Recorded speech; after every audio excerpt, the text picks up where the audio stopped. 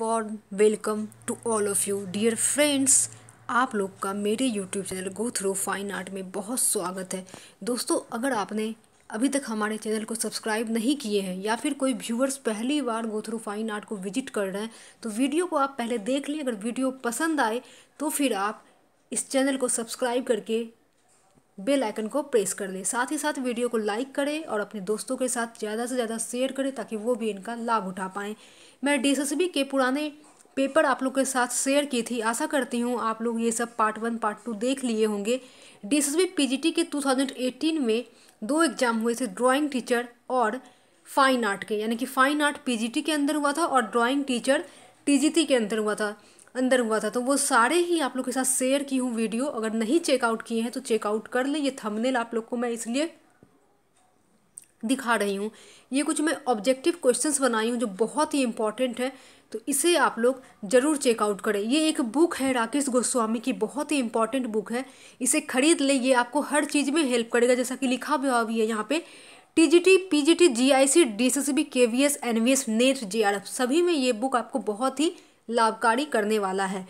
पहाड़गढ़, रायगढ़, भीमबेटका, होशंगाबाद, मोहनजोदड़ो, हड़प्पा, सब पे वीडियो बनाई हूँ, उसे चेकआउट कर ले। ये डीएसएसबी के 2018 के पार्ट वन है। आज मैं इसी के जो बचे हुए भाग हैं पार्ट फाइव वो शेयर करूँगी। तो part one part two part three part four मैं शेयर कर दी हूँ आप लोग के साथ। अगर चेकआउट नहीं किए तो चेकआउट कर ले। और आज मैं आप लोग के साथ इसका पार्ट फाइव शेयर करने वाली हूँ। डीएसएसबी में आप लोग को मालूम मालूम होगा कि एंटोनिम और सिनोनिम से पेपर आते हैं हमारे फ़र्स्ट पेपर में, जो कि दस दस का सीरीज़ होता है ट्वेंटी ट्वेंटी का सॉरी नॉट दस बीस बीस क्वेश्चंस पूछे जाते हैं हिंदी इंग्लिश मैथ रीजनिंग और न्यूमेरिकल एबिलिटी से। तो आप लोग को सिनोनिम पढ़ना भी बहुत ज़रूरी है तो पढ़ लें। ये मैं बौद्ध काल की चित्रकला के ऊपर सारे ही इंपॉर्टेंट क्वेश्चंस लाई हूँ तो उसे ज़रूर चेकआउट कर ले और आइए, बिना देरी किए हुए हम आज का सेशन स्टार्ट करते हैं। लेट्स स्टार्ट तो आज आप लोग को मालूम ही है कि मैं क्या पढ़ाने वाली हूँ। पढ़ाने वाली नहीं हूँ, बल्कि पहले के जो प्रीवियस ईयर पेपर है डीएसएसबी के, वो हम सॉल्व करने वाले हैं। लेट्स स्टार्ट तो ये ट्वेंटी क्वेश्चन हम सॉल्व करेंगे। पहला क्वेश्चन है निम्नलिखित में से कौन सा चित्रकार अकबर शैली का चित्रकारी अकबर स्कूल ऑफ़ पेंटिंग से संबंधित नहीं है तो इसका राइट आंसर हो जाएगा अबुल हसन। निम्नलिखित में से कौन सा चित्रकार, अकबर शैली की चित्रकारी, अकबर स्कूल ऑफ़ पेंटिंग से संबंधित नहीं है तो अबुल हसन। दूसरा नंबर क्वेश्चन है निम्नलिखित में से क्या पटना शैली की चित्रकारी, पटना स्कूल ऑफ़ पेंटिंग की विशेषता नहीं है पूछा है? तो नहीं है पूछा है तो इसका आप लोग का राइट आंसर हो जाएगा एक नंबर अजंता के भित्ति चित्र का अध्ययन। और बाकी ये सब सिपिया रंग, नवीन जीवों का पदार्थ, ये सारे ही जो है उनके भाग हैं।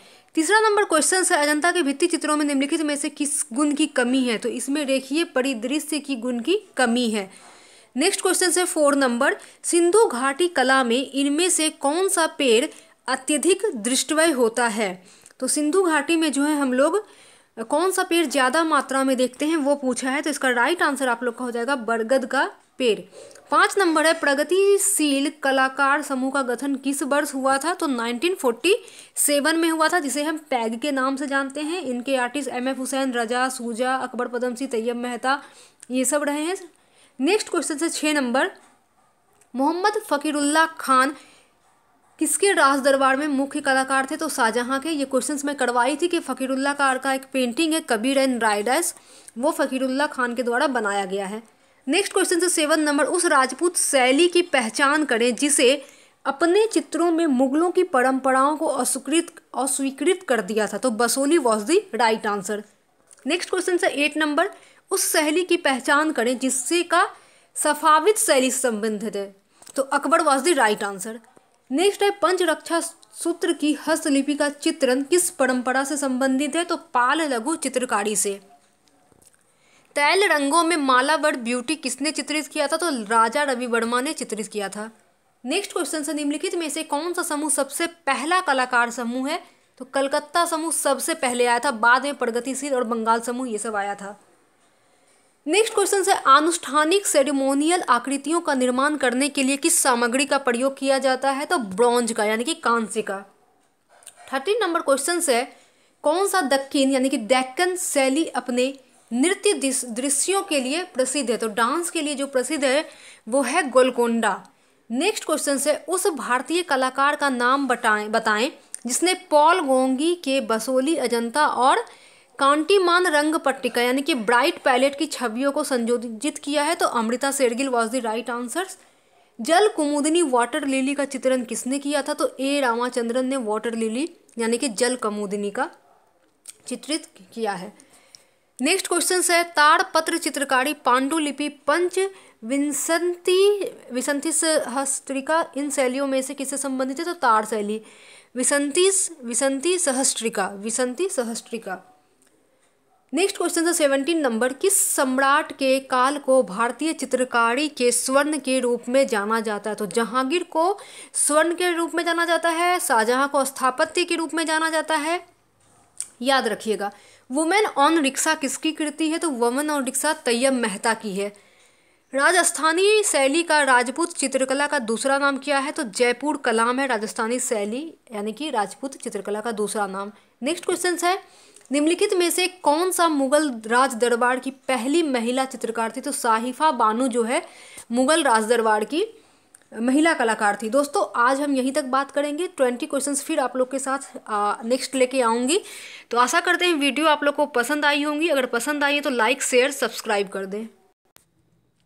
और साथ ही साथ इसे ज़्यादा से ज़्यादा अपने दोस्तों के साथ भी शेयर करें ताकि वो भी इनका लाभ उठा पाएँ। ये मैं एक वीडियो बनाई थी अतुल दोदिया, अंजू दोदिया, मनु पाड़ेक और माधवी पाड़ेक के ऊपर, जिसमें कि हम इमेजेस के साथ बात किए हैं। तो ये वीडियो बहुत ही इंपॉर्टेंट है, इसमें बहुत ही इंपॉर्टेंट इंपॉर्टेंट आर्टिस्ट है और बहुत ही इंपॉर्टेंट वर्क के बारे में बात की हो। जैसे कि अतुल दोदिया का काम आप लोग जानते होंगे, महालक्ष्मी है। अंजू दोदिया आप लोग काम नहीं बता पाएँगे बट अंजू दोदिया की पेंटिंग जो कि पेपर पे की गई है, उसका नाम है पर्ल्स एंड लैडर उसे ज़रूर देखें। मनु पाड़ेक की भी बहुत इंपॉर्टेंट पेंटिंग उसे वॉच आउट करें। मनु पाड़ेक, आप लोग को मालूम है कि वाराणसी के ऊपर, यानी कि बनारस के घाट के ऊपर बहुत सारे पेंटिंग सेरीग्राफी ग्राफिक्स सब में काम किए हैं। माधवी पाड़ेक जो है अपने हस्बैंड मनु पाठक से इंस्पायर होकर पेंटिंग करना स्टार्ट की थी 1964 में और इनकी पेंटिंग अभी बहुत ही महँगी बिकती हैं तो इनको ज़रूर चेकआउट करें और गो थ्रू फाइन आर्ट को सब्सक्राइब कर दें। आज के लिए दोस्तों इतना ही। Bye bye